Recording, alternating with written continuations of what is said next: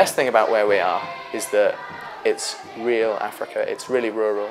Um, this is it's not a place where tourists uh, where tourists kind of come in their flocks. It's really really kind of untouched in that sense, which basically means that we're perceived in a very positive light, which kind of allows us to really be positive in our in our impact. When we walk around Kanungu, which is the town, we are really, really, really welcomed. I get just local people just shouting, Teacher Will, Teacher Will at me. It's like we're a genuine part of the community.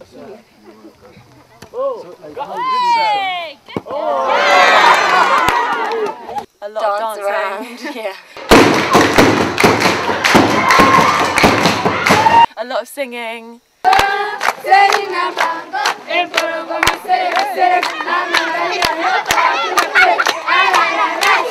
It's just really, really wonderful to be around the kids every single day. It's nice to get to know your own class actually. It's nice to kind of get to know each of their little characters and personalities and hang out with them. So, where is Rwanda, Sosti?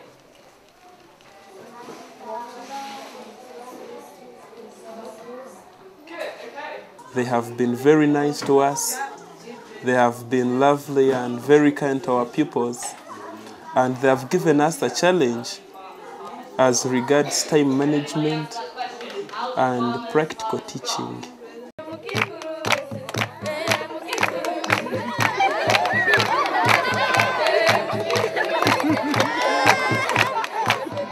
The people from England taught us practical, practical work, taught us, taught us football, and taught us how to play the guitar and, and some good songs.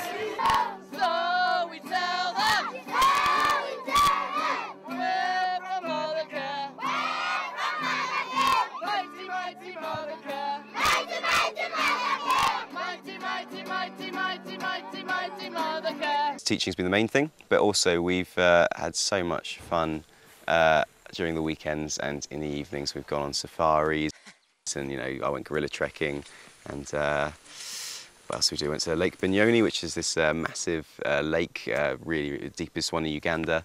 Um, where there's it's just this amazing resort, which is kind of luxurious even for English standards. I thought it would be a lot more challenging in terms of living conditions than it is. I think we live in relative luxury here. Yeah, in comparative to the rest of like Kanungu town where we're based. And my we're student so house. lucky. yeah. It is absolutely beautiful. The lodge is gorgeous. The view from the lodge is amazing. The seeing the sunset and sunrise is incredible, and the mist in the morning. And we have a campfire, so it's just an amazing scenery to be around.